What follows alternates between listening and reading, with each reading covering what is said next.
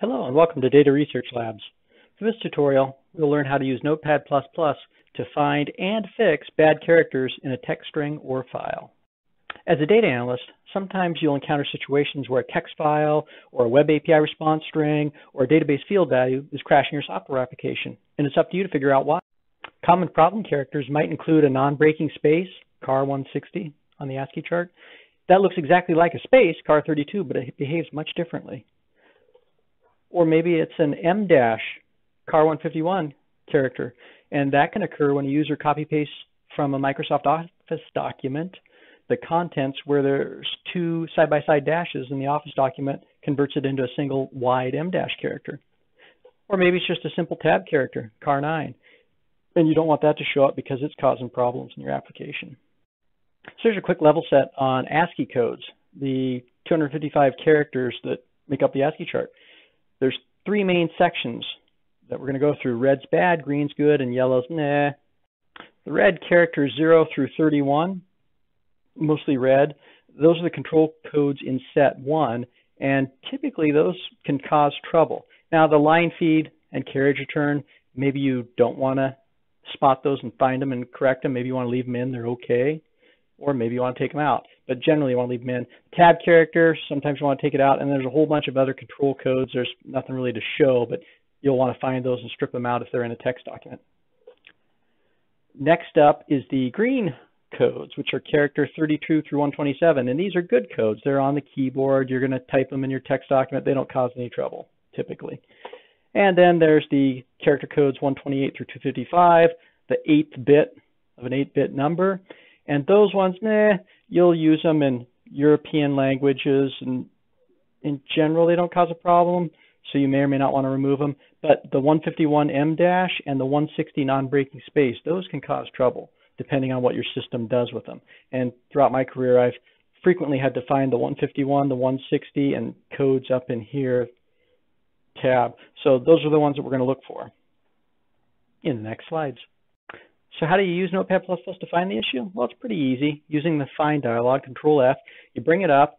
Don't use the Find. Go to the Mark uh, tab here at bullet number one, and then bullet number two, click on the regular expression. You want to use that. And then we're going to see in a minute how to derive this regular expression, but just copy paste this value in from down below in the YouTube uh, description, or I'll show it here in a minute. And then you click Mark All, and it'll go through the document and highlight all instances of characters that are in the red zone from the prior screen. So what does the regular expression look like? Well, it has the brackets to say find any of the characters inside. It uses hexadecimal backslash x uh, 00 to 1f, which does the character range 0 to 31 or 128 to 255. That's if you really want to block off all the yellows and all the reds. But then we don't want the uh, we want to ignore the line feed, we want to ignore the carriage return, we want to find the em dash and find the non-breaking space. So anyway, what we're going to do is use this regular expression here where we pick a range and another range and another range and then those two characters, the uh, em dash and the non-breaking space. So you basically copy paste this string and put it in there. And this string is down below in the YouTube description. And to demo it, I have a document set up here with some bad characters littered throughout. You can't see them yet. Control F. I copy paste in the regular expression from down below in the YouTube description. I make sure it says regular expression. Actually, I don't want it on the find. I want it on the mark. That's what I meant to click. Find. If I do find, watch this. Find next, find next. It's going to find them, but it's kind of hard to see. Find next. It's jumping all around. I don't like that. I prefer mark, and then I prefer mark all. And then there we go. Move this out, just close this. And there we go. All of them are marked. These are tabs. You can't really see it. It has a little tab character. And then these are going to be your, uh, I think those are both uh, non-breaking spaces. So how do I use Notepad++ Plus to fix the issue? Well, same as the find and the mark. You just click the replace tab instead. Be sure to tick the regular expression. Be sure to paste in that same regular expression text that we want to use to find the bad characters. And then since the replace with comes up, in this case, I wanted to have this big block of characters replace each individual bad character, but you could do a single asterisk, a single X, whatever you want in here, and then you click replace all. Or if you want to watch each one as it's getting replaced, then just click replace one at a time. but that's all there is to it to fix the problem. And to demo how to use Notepad++ to fix issue, I have a document loaded up here, and I'm going to Control H, which brings up the replace dialog, same as a find, and I'm going to go to my saved value here, my regular expression string, and I want to replace each of those with, hmm, we'll do an at symbol. And I'll move this way up here, and then I'll do them one at a time. So let's start with the find. Oh, it already had, let's go up here, and then we'll say find, there it found one. Replace it, yep, it put in an at.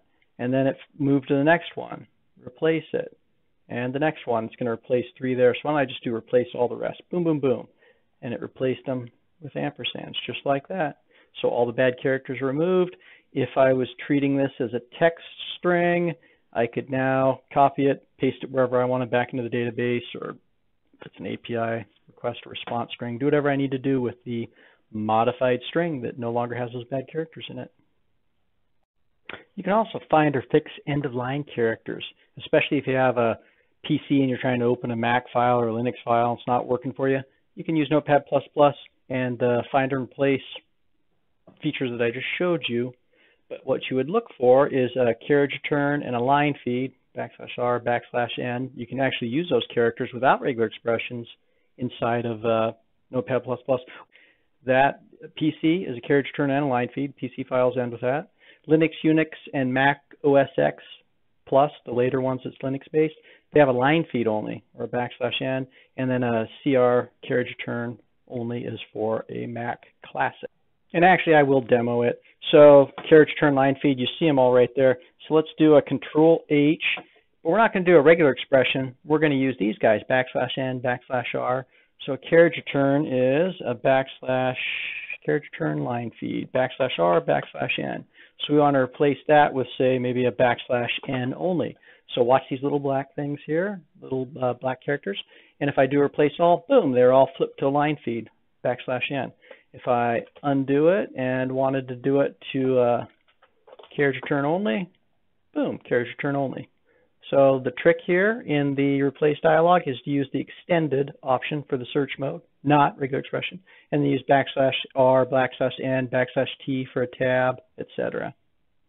Backslash x is for hexadecimal character like we're using in regular expressions. So where can I download Notepad++?